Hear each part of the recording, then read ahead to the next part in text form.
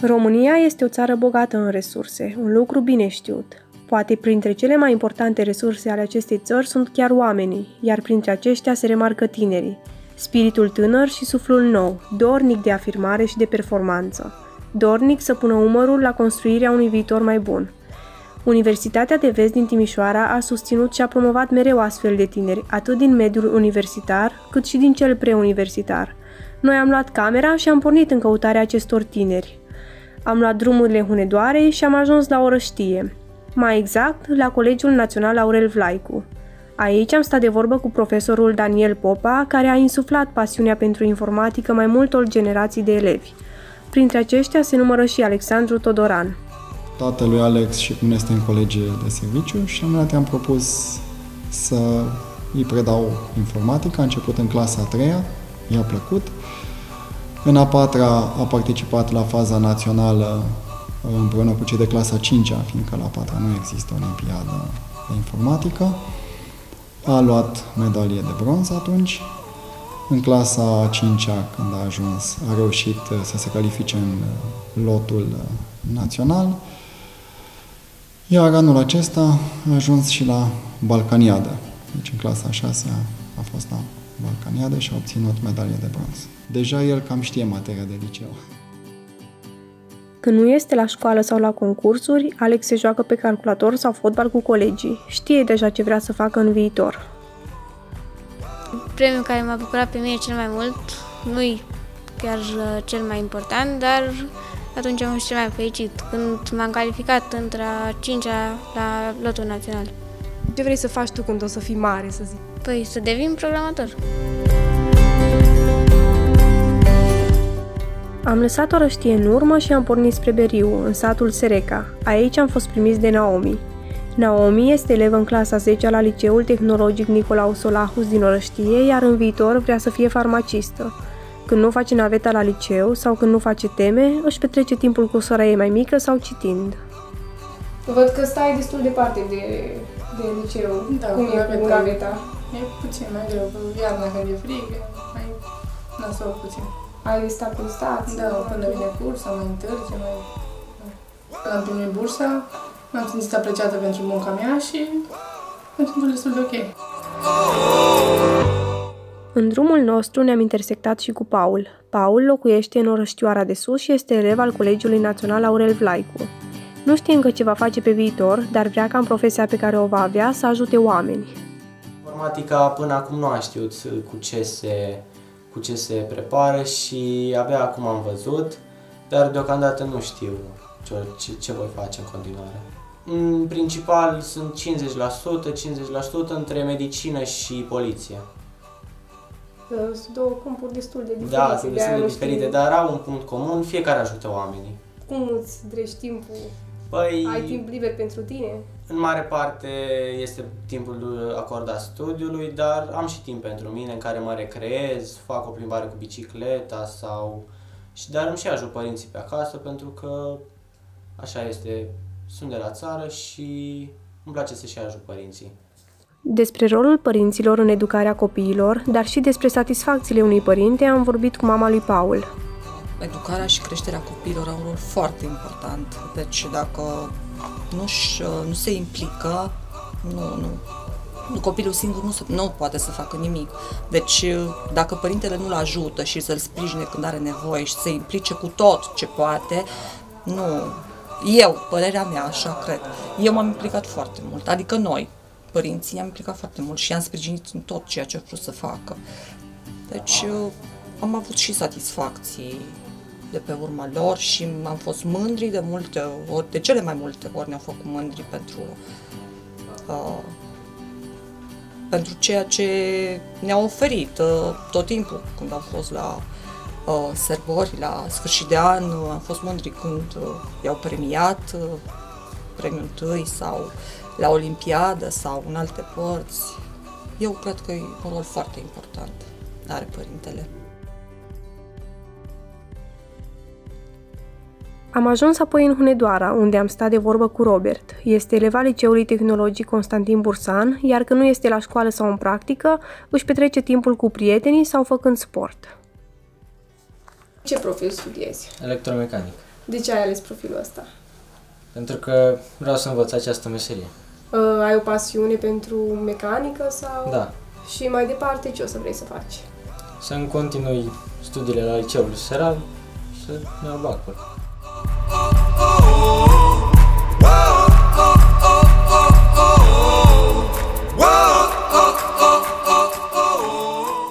Ne-am continuat apoi vizita la Deva. Ultimul liceu la care am poposit este Colegiul Național Decebal. Aici am stat de vorbă cu profesor dr. Marin Florin Ilieș, care este și director al liceului. Acesta ne-a povestit despre doi dintre olimpicii care au în palmares premii importante de la concursuri naționale și internaționale. La gala premiilor Iancu din Hunedoara din anul 2017 ați avut și doi premiați, doi elevi premiați. Sigur Ce ne că puteți da. spune despre ei? Uh, Sigur că da. Uh, Mă bucură că uh, comunitatea noastră apreciază performanța și ori de câte ori uh, există ocazia, uh, elevii olimpici sunt uh, aduși în fața comunității și premiați. Uh, La gala despre care vorbiți dumneavoastră, uh, doi uh, uh, tineri ai noștri au fost premiați.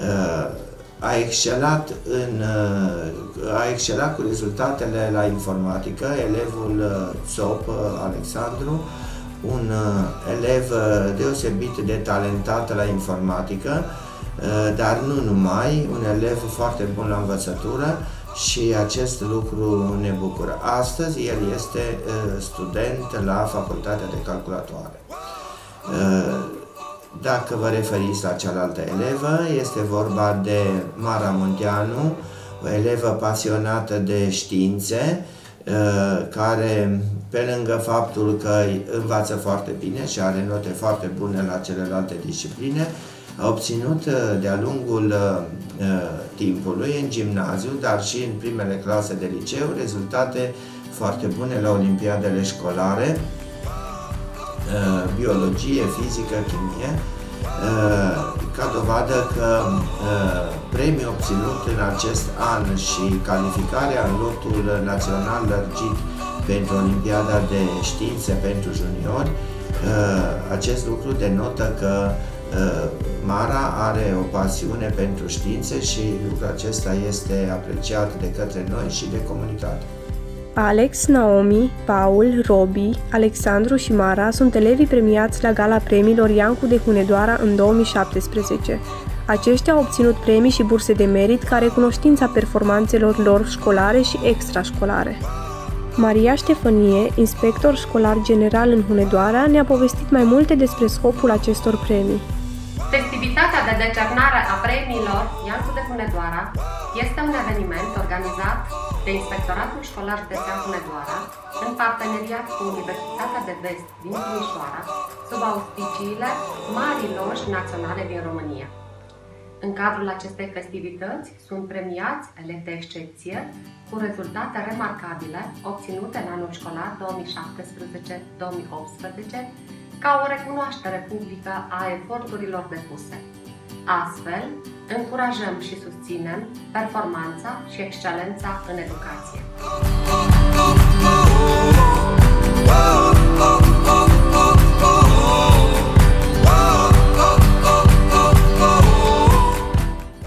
Ne-am întors așadar la Universitatea de Vest din Timișoara. Aici am stat de vorbă cu prorectorul Universității, Mădălin Bunoiu, care ne-a oferit detalii despre implicarea instituției în sprijinirea învățământului școlar. Universitatea de Vest din Timișoara colaborează de foarte multă vreme cu toate inspectoratele din proximitatea Timișoarei. Avem, să zic așa, un număr de 10 județe care intră în sfera noastră de acțiune. Pot spune că avem o colaborare mai specială cu județul Hunedoara, cu Inspectoratul Școlar Județean, cu doamna inspector Maria Ștefănie, în particular, care a găsit întotdeauna uh, cele mai bune soluții la toate problemele pe care le-am adresat învățământului preuniversitar. Uh, finanțarea despre care discutați, bursele și premiile care au fost acordate uh, sunt practic venite de la o asociație din județul Hunedoara care a decis să sprijine acești copii și a apelat la noi, la Universitatea de Vest, având în vedere experiența noastră în ceea ce înseamnă, pe de o parte, idei de promovare a educației și a excelenței în educație și, pe de altă parte, mecanismele administrative pe care le avem la dispoziție. Este și aceasta o dovadă în plus a faptului că Universitatea de Vest din Timișoara are compartimente, are uh, structuri care pot să facă față unei astfel de provocări. În mod particular, suntem extrem de bucuroși să constatăm că acești bani au ajuns acolo unde trebuie, au putut să facă diferența și au putut să mențină în sistemul școlar cu performanțe deosebite acești uh, elevi. Uh, sperăm că și de acum înainte să se întâmple la fel. Avem uh, bucuria să dăm aceste premii și aceste burse și în acest an. Asociația din Hunedoara care face posibil acest lucru are în componența sa oameni uh, inimoși pe care îi felicit și cărora și eu le sunt recunoscător ca și cei care au beneficiat de aceste resurse financiare. Astăzi vi-am prezentat doar pe elevii premiați în cadrul Galei Iancu de Hunedoara. Ca ei, sunt mulți alții la noi în țară, dar este nevoie de oameni care să observe și să le aprecieze munca și talentul.